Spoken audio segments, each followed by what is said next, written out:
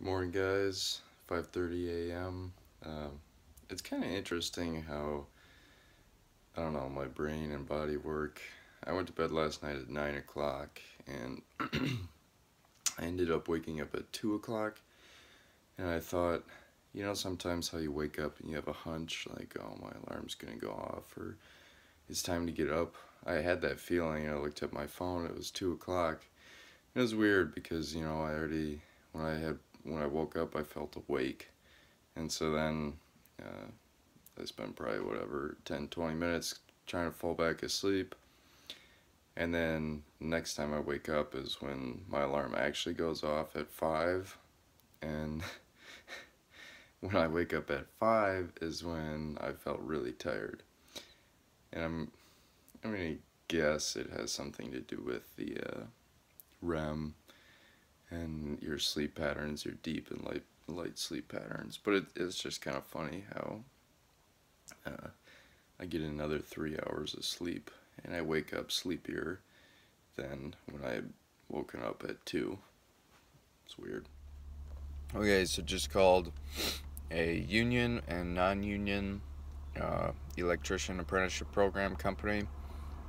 The union one is definitely something I do not want to do. They put you on a two-year waiting list after you go through a couple of months of work and then have an interview.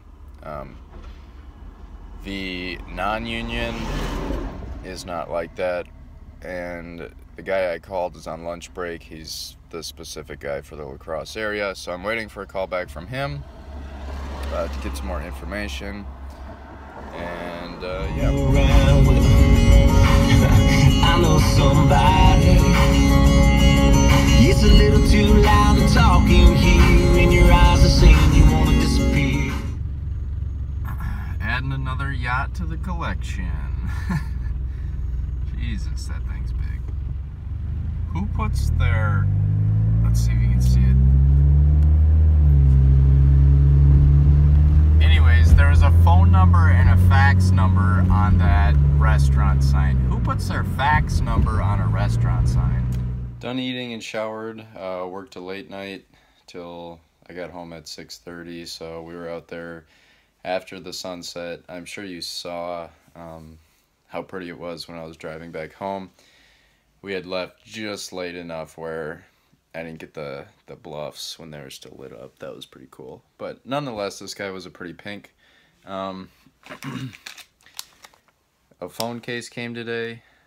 I think you can see that the owl engraved design there. Um, that unfortunately was a walnut wooden case for my 5S.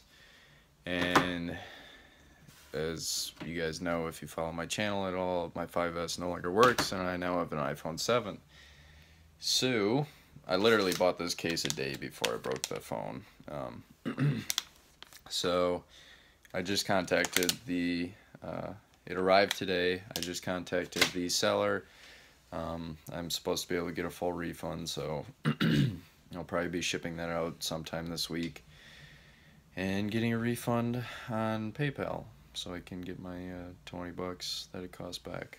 Because, I don't know. I was going to try and list it on eBay, but I looked at eBay and it's just way oversaturated with cases like that. So, I'm just going to return it rather than try and resell it. Um, and now I'm going to call uh, Mary, Caitlin's mother, because she wants to talk.